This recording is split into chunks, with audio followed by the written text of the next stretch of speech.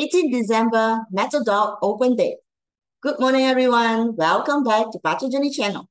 Remember to subscribe to my channel, share my channel with your friends, and help each other grow.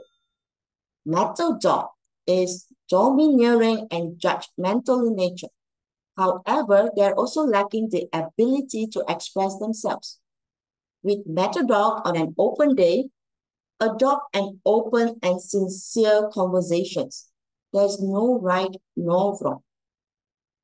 The animal signs that are most afflicted today are dragon, goat, rooster, ox, and rabbit.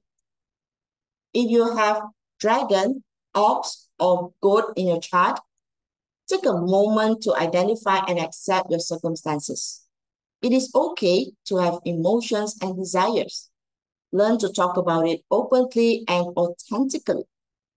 Vulnerability is an opportunity for growth and helps you to connect with others.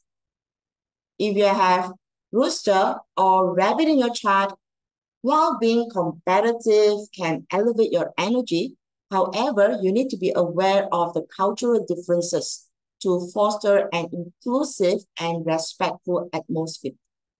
The direction to Backface for clarity is is. Thanks for your support and leave your comments on this video and let me know how my daily dose of life have helped you get through your day. Share my videos with your friends as it may help them as well. Remember to subscribe to my channel and be notified when the next video is up.